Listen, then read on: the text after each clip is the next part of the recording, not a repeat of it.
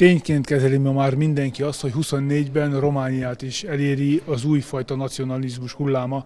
Az, ami nagyon sok európai országban, európai uniós országban tapasztalható, az megérkezett sajnos Romániába is.